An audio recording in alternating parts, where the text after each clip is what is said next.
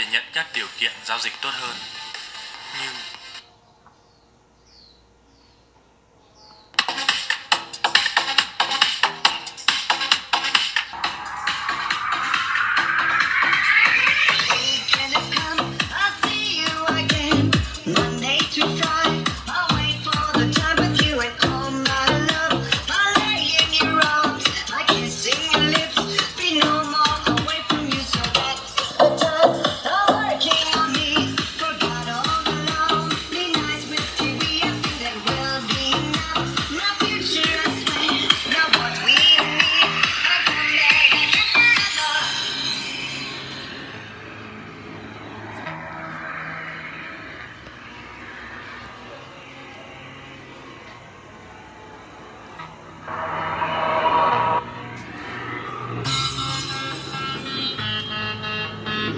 Mm-hmm.